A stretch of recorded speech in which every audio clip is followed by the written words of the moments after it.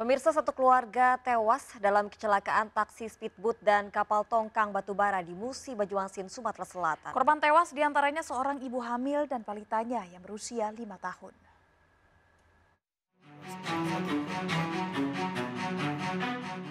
Seorang warga ini ditemukan tewas. Empat dari sepuluh penumpang tewas karena mengalami kecelakaan taksi speedboat dengan kapal tongkang batubara di Musi Banyuasin, Sumatera Selatan.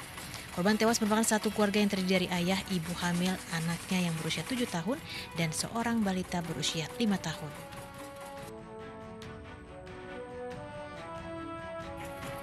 Tim SAR gabungan TNI Polri pun langsung melakukan pencarian dan berhasil mengevakuasi keempat korban.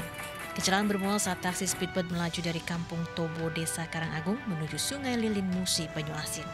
Speedboat tiba-tiba mengalami mati mesin dan menabrak kapal tongkang batu bara hingga karam dan akhirnya tenggelam. Enam dari sepuluh penumpang selamat, sedangkan empat penumpang lainnya tewas terseret derasnya air sungai. BPBD Moba, BPBD Banyuasin, Basarnas Palembang, dan dibantu TNI Polri dan masyarakat satu lagi atas nama Dapa bin Hadi Mustafa. Jenazah korban langsung dibawa ke rumah duka untuk dimakamkan. Warga setempat berharap pihak terkait menyiapkan alat pelampung demi keselamatan penumpang. Dari Musi Banyuasin, Sumatera Selatan, Edi Lestari, iNews melaporkan.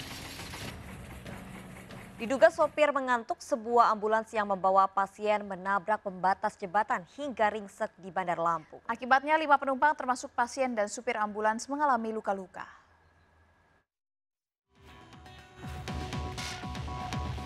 Sebuah mobil ambulans ini ringsek. Mobil ambulans ini hancur di bagian samping dan depan setelah menabrak pembatas jembatan di Bandar Lampung. Akibatnya lima penumpang terdiri dari satu pasien, dua perawat dan juga supir ambulans mengalami luka-luka dan langsung dievakuasi ke rumah sakit Abdul Muluk, Bandar Lampung. langsung KM ini katanya. Kecelakaan bermula saat ambulans melaju dari arah Raja Basa menuju Tanjung Karang dengan kecepatan tinggi. Ambulans yang hendak membawa pasien menuju ke rumah sakit Abdul Muluk mengalami hilang kendali dan menabrak pembatas jembatan. Diduga kecelakaan akibat supir mengantuk. Mengarah ke Abdul Muluk, karena lalai dan mengantuk perjalanan jauh menabrak median jalan yang di tengah mengenai ke flyover Sultan Agung. Mobil ambulans kemudian dievakuasi ke unit laka lantas Polresta Bandar Lampung. Kasus ini ditangani aparat kepolisian Satlantas Polresta Bandar Lampung.